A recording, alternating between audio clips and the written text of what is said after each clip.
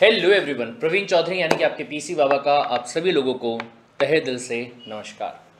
सो so finally कल आपका वो दिन आ रहा है जिसमें कि आपका सी एस डबल का एग्ज़ाम जो है वो होने जा रहा है। यानी कि सी एस के टैग को पाने के लिए जो सबसे पहला पड़ाव है, उस पड़ाव को आप हासिल करने जा रहे हैं। सब बोले, काफ़ी डर लग रहा है सर। समझ में नहीं आ रहा कि क्या सही में मेरी प्रिपरेशन जो है वो हो चुकी है क्या? क्या सही में मैं अपना हंड्रेड परसेंट जो है वो दे पाऊँगा क्या? क्या सारे क्वेश्चंस का जवाब जो है वो मैं दे पाऊँगा क्या? ये बुरे समझ में नहीं आ रहा है। तो गाइज़ आज का जो ये वीडियो है, इस वीडियो में मैं आपको, आप ही के बारे में कुछ इंपॉर्टेंट बातें जो है वो बताने जा रहा हूँ, जिससे कि मुझे ऐसा लगता है that you will feel some kind of motivation कि नहीं यार, ऐसा नहीं है कि मैंने प्रिपरेशन नहीं किया है, ऐसा नहीं है कि मेरी पढ़ाई नहीं हुई है, और ऐसा नहीं है कि मैं अपने एग्ज़ाम में पास नहीं हो पाऊँगा। सबसे इंपॉर्टेंट जो चीज़ होती है, वो है पॉजिटिविटी अपने आप के बारे में पॉजिटिव सोचना, अपने प्रिपरेशन के बारे में पॉजिटिव सोचना और फ्रेंकली अगर मैं बोलूँ ना तो अगर मैं प्रिपरेशन की बात करूँ तो यार कभी भी कोई भी इंसान किसी भी जंग के लिए 100 परसेंट प्रिपेयर नहीं होता है। तो उससे कौन सी ऐसी चीज़ है जो कि हमें किसी भी जंग में पास करवाती है या फिर फेल करवाती है? वो है आपका एटीट्यूड वो है आपका सोचना. वो है आपका लड़ने का जज्बा रखना। जहाँ पे आप ये सोचते हो कि यार ठीक है, जैसा हुआ, जो हुआ प्रिपरेशन किया कि नहीं किया, लेकिन मैं इस लड़ाई को अच्छे तरीके से लड़ूँगा, अपना हंड्रेड परसेंट हंड्रेड नहीं टू हंड्रेड परसेंट जो है वो देने की पूरी की पूरी कोशिश करूँगा, पूरे पॉजिटिविटी के साथ में, फिर उसके बाद में रिज़ल्ट चाहे जो कुछ भी हो।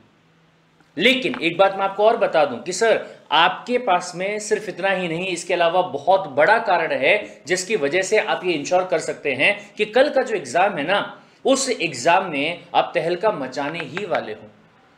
कहाँ कमी छोड़ी आपने अपनी पढ़ाई में? मुझे बताइए जरा एक बार। कहाँ कमी छोड़ी? Sir C S double E T का एग्जामिनेशन जहाँ पे अगर मैं नॉर्मली बात करूँ तो ट्रेंड ऐसा रहा है कि 80 टू 90 परसेंट बच्चे जो है वो पास हो जाते हैं।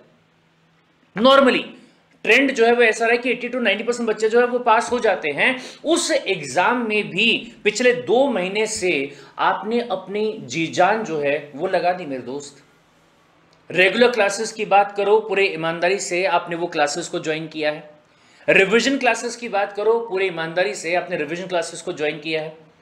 मैराथन क्लासेस की बात करो, पूरे ईमानदारी से सुबह से लेके शाम तक घर वाले ये बोलने पे आ गए कि बेटा बस कर, बहुत हो गया, आज के लिए इतना काफ़ी है बट फिर भी तुम बैठे रहे मेरे दोस्त। फिर भी तुम बैठे रहे।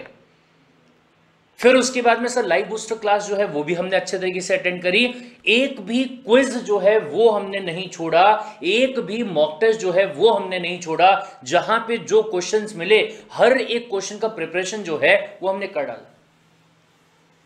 वो हमने कर डाला। अरे गेट पॉइंट अभी बहुत ध्यान से सुनिएगा। सर हो सकता है कि जो आपका कल का पेपर रहेगा, जिसमें 140 क्वेश्चंस आपसे पूछे जाएँगे, हो सकता है कि उसमें से चार, पाँच या दस क्वेश्चंस का जवाब जो है वो आपको नहीं आ पा रहा हो। लेकिन मुझे आपके ऊपर इस बात का पूरा यकीन है, पूरा भरोसा है कि ये बिल्कुल भी नहीं होने वाला है कि आप फेल होके वापस आए क्योंकि प्रिपरेशन में कमी नहीं रही है, दोस्त।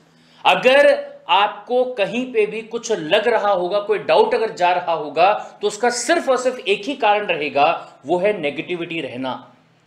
बस इतनी आज मेरी आपसे रिक्वेस्ट है कि कल जब आप अपना एग्ज़ाम देने वाले रहेंगे ना, उस टाइम पे दिमाग में नेगेटिव थॉट्स जो है, वो बिल्कुल भी नहीं आने चाहिए। पूरा हंड्रेड परसेंट पॉजिटिव रह के, बस दिमाग में यही बोल के चलिए एग्ज़ाम में वही आने वाला है जिसका प्रिपरेशन मैंने किया है। एग्ज़ाम में वही आने वाला है जिसका प्रिपरेशन मैंने किया है और वहाँ पे एग्ज़ाम में बिना किसी पैनिक हुए, बिना पैनिक हुए मैं जो वहाँ पे सॉल्व करूँगा, अपने 100 परसेंट पॉजिटिव एटीट्यूड के साथ में सॉल्व करूँगा। एंड अगर एक आधे क्वेश्चन का जवाब मुझे नहीं आता तो तुक्का मारूँगा। लेकिन कोई बात नहीं दैट्स ओके लेकिन ये मुझे आज कंफर्म पता है कि मैं फेल होने वाला नहीं हूँ, क्योंकि प्रिपरेशन जो है, वो मैंने बहुत अच्छे तरीके से करी। कल 120 मिनट आपके पास में रहेंगे और वो 120 मिनट, जैसे शाहरुख खान ने चकदे इंडिया में कहा था कि ये 70 मिनट आपसे कोई नहीं छीन सकता है, सेम वैसे ही मैं यहाँ पे भी आपसे कहना चाहूँगा कि कल के जो 120 मिनट होंगे ना, वो पूरे के पूरे सिर्फ़ और सिर्फ़ तुम्हारे होंगे। और वो 120 मिनट को कैसे यूज़ करना है, कैसे नहीं यूज़ करना है, ये आज तुम्हारे प्रवीण सर तुमको नहीं बताएँगे। तुम्हें पता है बस इतना कहने चाहूँगा कि आपको वो 120 मिनट पूरे पॉजिटिव एटीट्यूड के साथ में बिना किसी पैनिक के अच्छे तरीके से यूटिलाइज करने हैं। सोच समझ के क्वेश्चन का जवाब जो है वो आपको देना है। आराम से पढ़ेंगे, समझेंगे क्वेश्चन को, उसके बाद में जवाब जो है वो आपको देना है।